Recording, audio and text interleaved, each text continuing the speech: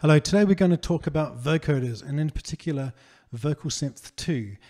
Ableton has a pretty cool vocoder, um, which is actually pretty easy to use, but I really love Vocal Synth 2 and I'm about to show you why. Let's start by hearing my absolutely terrible vocals. Check it out.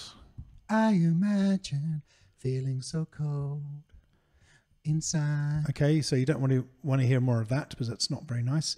But the vocoder makes it sound much nicer. Let, us just listen to the vocoder. The vocoder starts when the MIDI starts, which is this channel here. When I'm losing control and I'm feeling alone because our thoughts are so cold. So it sounds a bit better. I mean, it's still a pretty bad vocal, but um, in terms of timing and stuff, but it's um, it's playing in tune with the track because it's using the chords of the track, which is the beauty of vocoding. Um, so how do we set this up? So I've got a my vocal on this track called 12 Audio, and I've just literally slapped the vocal synth VST onto this track. I've got actually before that I've inserted an RX7 vocal voice uh, noise reducer because there's a lot of background noise on my mic.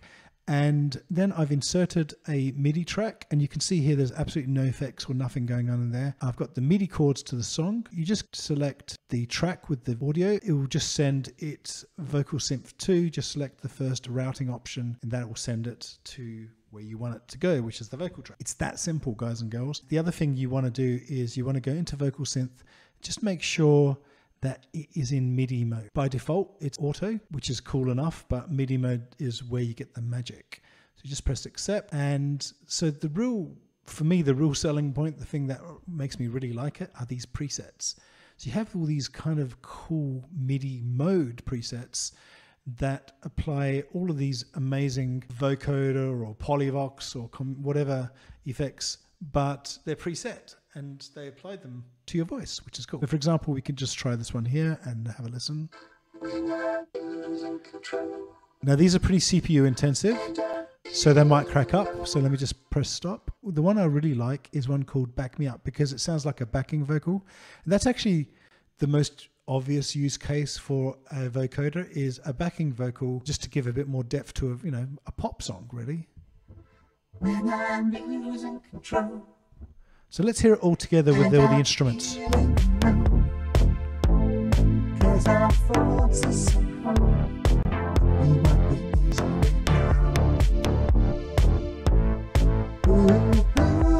You can add things like um, delay effects.